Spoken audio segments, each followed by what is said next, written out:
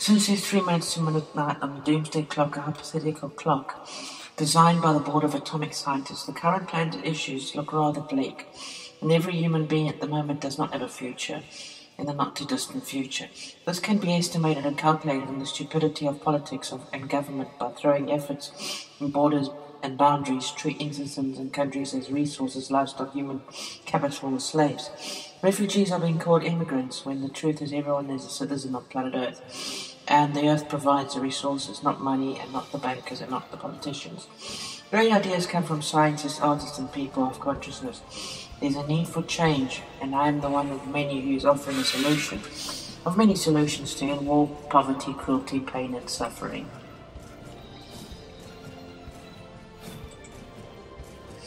Like the artist who designed the international flag of planet Earth to use in space missions to unite humanity as a whole for a greater purpose, this was arrived to exist to, and to be.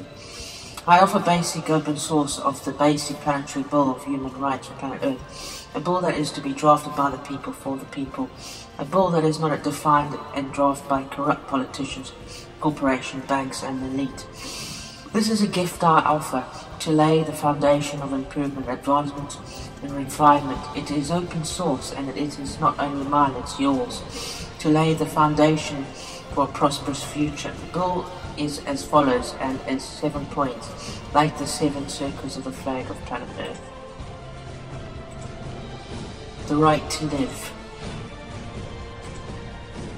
Every human being has a right to live and exist, and should be treated with dignity, with love, compassion, empathy, love, understanding, logic, and equally as individual conscious beings, not as numbers, masses, customers, or consumers, classes, segregated groups, slaves, and human capital, and no fascism. The right to life from paradism. All life is to be valued as a first priority before economics.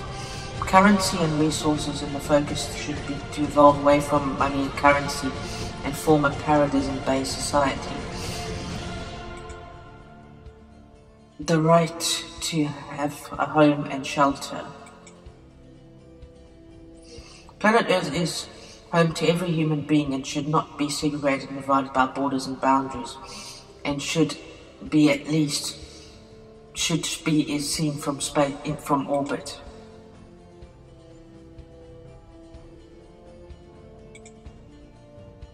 The right to free energy and resources. This planet, this planet and the resources it supplies should be shared freely among its citizens, and no human life should endure pain, suffering, and starvation. Technology must be able to coexist mutually, mutualistically, part of the ecology, since humanity is dependent on ecology in producing natural resources to thrive. A right to peace. There should be no more war, nor systems and ideologies that function to aid war, be it economical, political, or religious. An industrial military complex should not exist. Such systems are a crime against humanity and a life-sustaining planet.